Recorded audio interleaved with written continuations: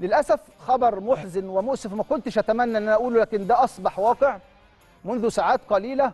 يعني صدر حكم بحبس ثلاثي لاعبي الزمالك الكابتن دونجا كابتن مصطفى شلبي ومدير الكرة الكابتن عبد الواحد السيد إلى يوم 29 أكتوبر.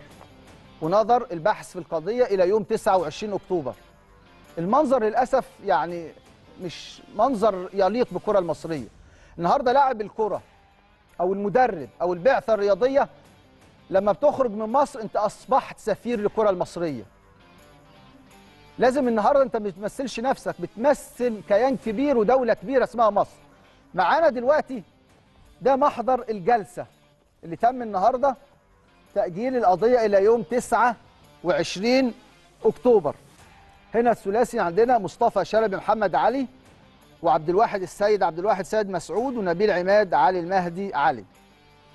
ال- ال- التهمة استعمال القوة أو العنف أو التهديد مع موظف عام أو مكلف بخدمة عامة بنية حملة بغير حق على أداء عمل من أعمال وظيفته أو على الامتناع عنه ولم يبلغ بذلك مقصده.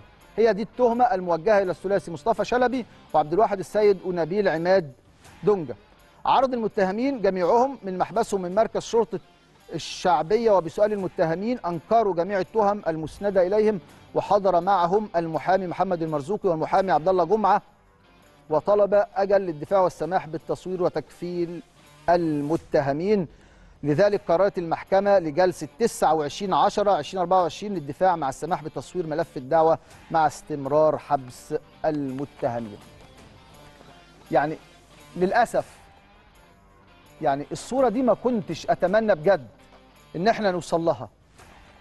يعني لو كان مجلس إدارة نادي الزمالك من البداية من بداية المشكلة أقر بحدوث النهارده في خطأ من لاعبي نادي الزمالك والنهارده كان طلع بيان ما كناش وصلنا لهذا الأمر النهارده لما بتشوف في البطولات الكبيرة وإحنا رحنا قبل كده دولة الإمارات في بطولة السوبر المصري ورحنا قبل كده في بطولة كأس العالم للأندية تنظيم رائع واستقبال رائع من كل الناس من أول واحد واقف على بوابة الاستاد لما بتقعد في الكرسي بتاعك كل واحد عنده الفن زون بتاعه بيقعد فيه في المنطقة المحددة ليه ما ينفعش تروح من مكان لمكان.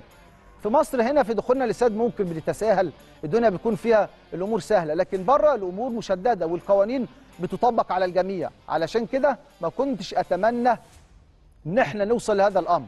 وزي ما قلت لحضراتكم لعيب الكورة لعيب الكوره هو سفير لبلده. في كل مكان متواجد فيه. لازم أخلاقه لازم سلوكياته لازم مظهره سواء بره الملعب أو بره الملعب ده كان شيء مهم.